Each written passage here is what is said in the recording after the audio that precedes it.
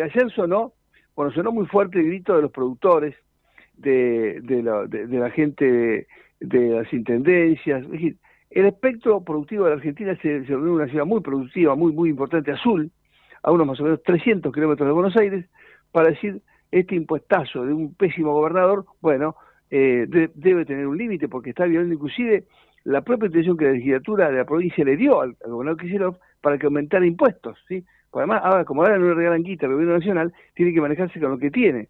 Como es un muy mal gestionador de todo, siempre lo fue Kicillof, fue el que nos metió, no olvidar, fue el que nos metió en el despelote monumental de privatizar para el traste IPF y hoy de ver, en un juicio ya con sentencia firme, 16 mil millones de dólares. ¿Sí? Nada más y nada menos que eso. El diputado provincial eh, Lucho Bugallo está en línea con nosotros. Lucho Nacho Riverol saluda, buenos días. ¿Qué tal Nacho? ¿Cómo andás? Muy buenos días. Gracias por llamar. No, por favor, ayer hablamos un rato antes de que viajara para Azul. Eh, queremos saber cómo estuvo eso y bueno, eh, de aquí en adelante cómo sigue, ¿no? La gente que ve con sorpresa y con, con y con temor y con asombro cada decisión de, de Kisilov, ¿no? Sí, a ver, estuvo estuvo muy bien eh, digamos, uno hubiese querido quizás que, haya un poco más de gente. La verdad es que la gente en el campo está laburando, y la mayoría ya está cosechando y, digamos, si tiene que aprovechar los días que no hay lluvia, que, que, que, está... en el campo no hay piquetero. cultivo seco para poder cosechar.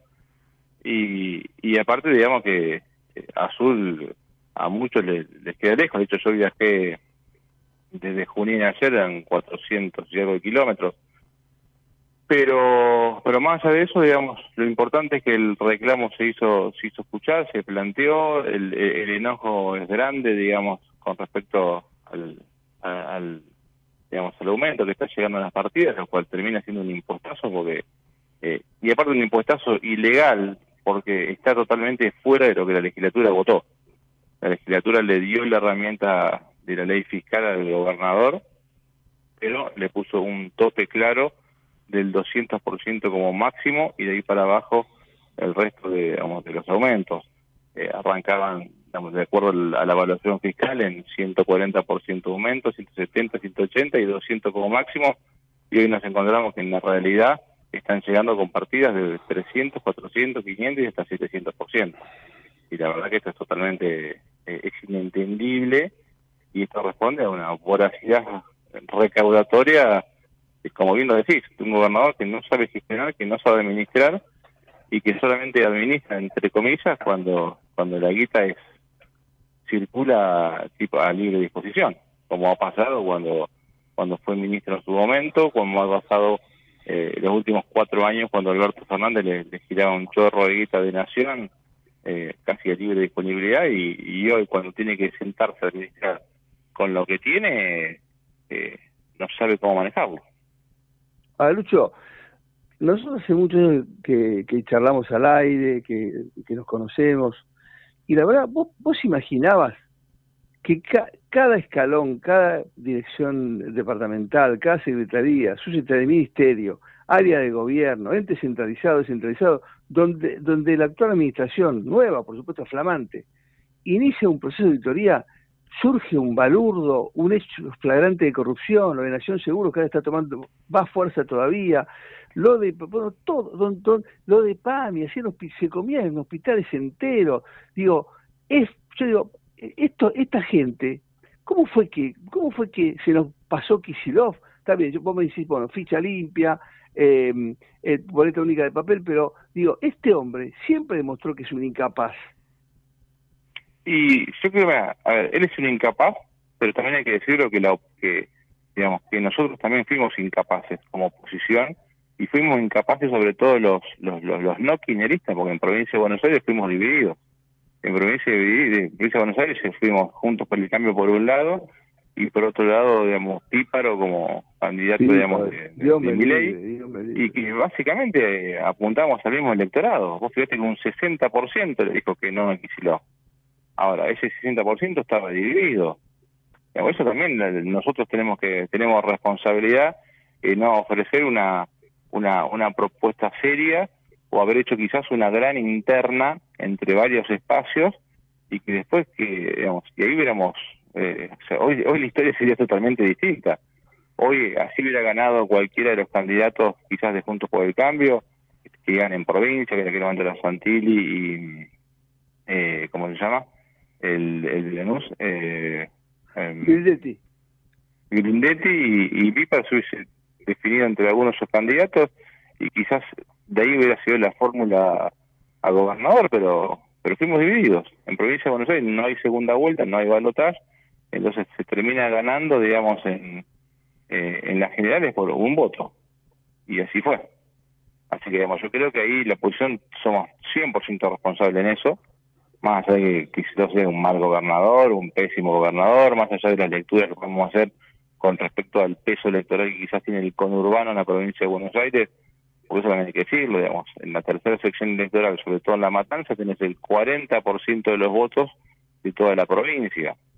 Entonces ellos se enfocan en tirar guita en una campaña en el conurbano, recorren tres o cuatro distritos grandes, centran toda la energía ahí y después le importa un pepino al resto de la provincia y sobre todo la parte, la provincia productiva, la provincia del interior, donde tenés cientos, cientos de pueblos chicos que, digamos que no lo votaron pero bueno, hoy padecen el peor gobernador de la historia. Yo te juro que yo no lo podía creer, porque además, eh, corregime, pero en la primera vuelta, que quedó elegido el Congreso y los intendentes, hubo, hubo intendencias muy productivas que se perdieron por ir dividido. Si se perdieron ciudades que no quiero nombrar, que vos las conocés, que es un espanto que hayamos perdido. Se perdió la plata por la torpeza de ir dividido, porque además metieron 400.000 este, indigentes que no eran de la plata en el eh, expedio de planeadores, que eso lo hizo Kicillof, sabiendo que si metía gente que extraña la plata ganaba la octava posición. Pero hemos perdido intendencias que eran claramente de la oposición y de zonas productivas. Eso es imperdonable, Lucho. No, no, por eso, yo, por eso uno, uno tiene que, en eso tiene que ser serio y vamos, podemos criticar todo lo que agarramos al alquilerismo que hicieron, pero si la oposición, y esto me incluyo, digamos, a ver, son, no, no, no integraba la, la, mesa donde toman las decisiones, pero vamos, soy parte de la oposición, así sea un, eslabón pequeño, digamos, y integro a la oposición. Eh, si no aprendemos de esto, por lo menos para dentro de cuatro años, claro. hecho, ayer justo, justamente cuando veníamos de, volvíamos de azul, con, quien me acompañaba, lo veníamos planteando, que acá todos tenemos que trabajar desde el lugar que sea para, para trabajar en un solo espacio en la provincia de Buenos Aires, que nuclee más allá que después en lo nacional algunos eh, estén dentro del futuro espacio liberal, por así decirlo, otros estén dentro de un futuro espacio, no sé, de centro, no sé qué puede llegar a pasar nacional. Ahora, en provincia de Buenos Aires tendríamos que estar todos unidos.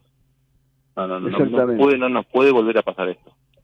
Lucho, y menos mal, y menos mal ¿sí? que el destino y las cosas de la política del hartazgo generaron el fenómeno Mirey, porque si no, el que Tejeri, que ahora está callado, era el presidente hoy, el de Platita. No, tal cual. A ver, viste, uno cuando, cuando, mira los... Eh, hay, una frase de, de, Steve Jobs, digamos, el creador de Apple, dice unir los puntos hacia atrás. Uno tiene que, a veces las cosas cuando pasan, tiene que ir hacia atrás a ver todo lo que fue lo que pasó, qué es lo que se hizo, para entender la situación de hoy. Y eso te sirve justamente para pensar qué es lo que querés para mañana. Entonces empezá a cambiar desde hoy. Porque justamente, vos fijaste que de no haber sido quizás por mi ley tendríamos a masa. Y también, incluso, digamos, esto no, lo quiero decir en forma pejorativa, pero el hecho de que exista un ley una persona que viene eh, en su lógica a, digamos, a, a romper el sistema, tiene que ver porque el sistema está fallado y porque también los que estuvimos antes, de cierta manera, también defraudamos al electorado. Puntos por el Cambio tampoco pudo ofrecer, digamos, un, quizás una, una, una fórmula, un espacio, una, una propuesta eh, superadora y que ganara, digamos, las elecciones. Entonces, nos que llegamos a un momento que tuvimos que elegir entre dos opciones. Una opción que, sabía, que sabíamos que no queríamos, que era masa, y la otra opción que algunos querían, otros menos, pero fue el, es como no no no hubo prácticamente no hubo elecciones como es como sido de postre que eres, una manzana o, o, que eres una taza de vinagre era la taza de vinagre. Claro.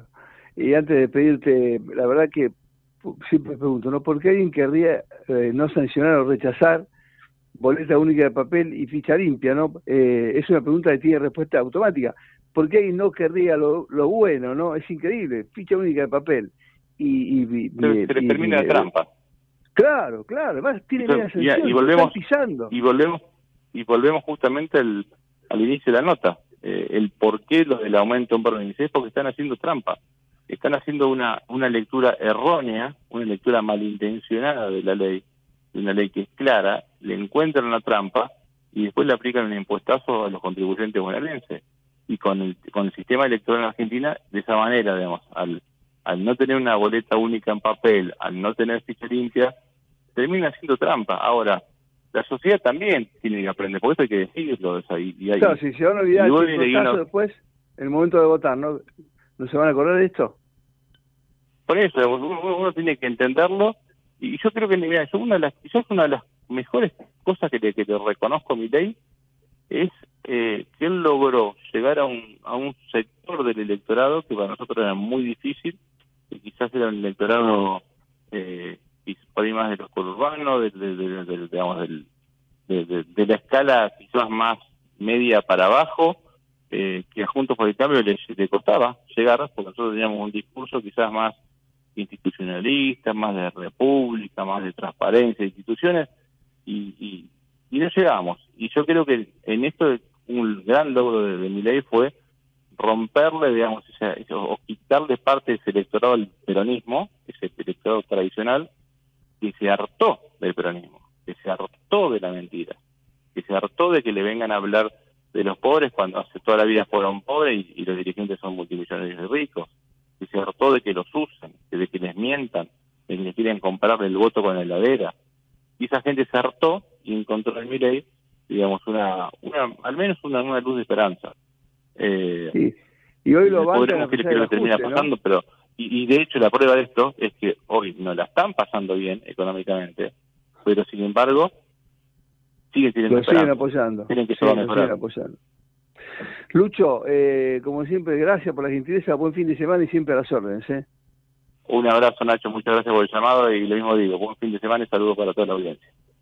Gracias, eh. Lucho, gracias Lucho Bugallo, el diputado provincial por Colección Cívica ARI eh, eh, conversando con nosotros sobre la concienciación de ayer y lo que piden la, los productores eh, y, y, gran parte de la ciudadanía de la provincia de Buenos Aires.